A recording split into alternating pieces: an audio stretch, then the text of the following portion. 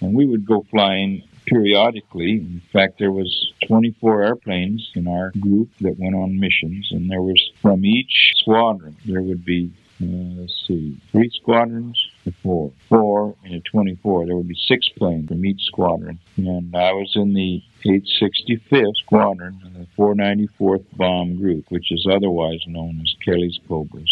My crew was made up of officers that four officers lived in one tent and all enlisted men lived in another area. And they had, I think, like a big tent where they were all together. But we officers had a special care and four of us co-pilot and the pilot, navigator and the bombardier all lived in one tent. That was Jack Berger was my bombardier and Fred Sprilling was my navigator and Norman J. Olson was my co-pilot. We lived in the same tent. It was a funny thing because my crew was made up of guys. None of them smoked, none of them drank. Thought it was pretty neat. Once in a while, Berger would break loose with a cigar or something dumb thing that would kid him to death. He wouldn't smoke around.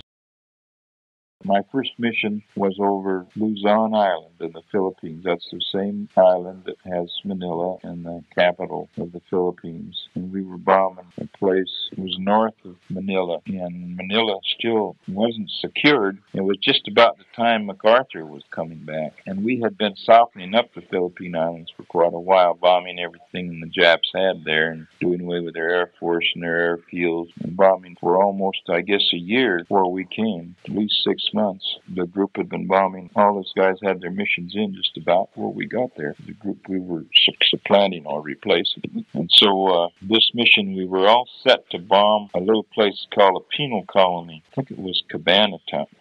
town. And we're all set to bomb this penal colony. At the last minute, why the intelligence guys came back and said, no, don't bomb that. Bomb the town. So we went in over the town, and we found out later that all of our fellows that had been captured were in that penal colony, and we'd have bombed our own boys.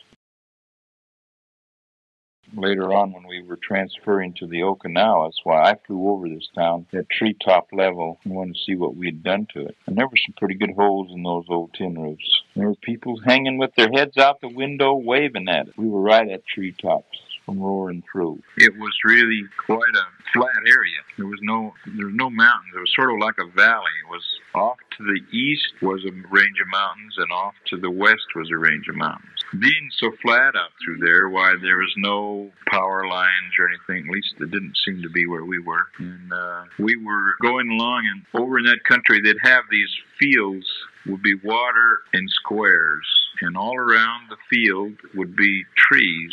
In the middle would be water, and it would be growing rice in it. And so uh, I would go up over the trees and back down. The trees were only about 30 feet high, so you know how low we were going. So I just up over the trees and back down. I saw this old water ox over there and this guy plowing away off in the distance. And I was going up over these trees and back down. So I lined up right on him, so I was going to shoot him onto the saddle. And just before I got to him, why I bumped the steering wheel like so, and it caused a big that bomber. It settles, and it just settled right on down like it was going to land on him. And um, and then of course I'm pulling back on it about that time, and so it started to climb out. But mm-hmm. I went, at last I saw him, he was kneeling in the mud.